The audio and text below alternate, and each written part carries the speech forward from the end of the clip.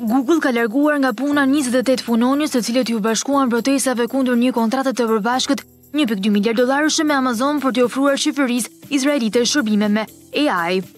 Protestat e udhëhequra nga No Tech u zhvilluan edhe në zyrat e Google në New York, por pas këtyre veprimeve disa punonjës u dëbuan nga puna. Duke u thënë atyre, ta mbajnë çështjen sa më konfidenciale që është e mundur, duke zbuluar vetëm informacionin në bazë të nevojës.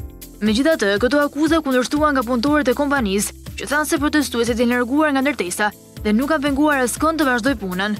Ndërkohë bëhet e ditur se pas shkarkimeve, gjiganti teknologjik ka njoftuar se protestuesit po pengojnë fizikisht punën e punonjësve të tjerë dhe po i pengojnë ata të hyjnë në objekte.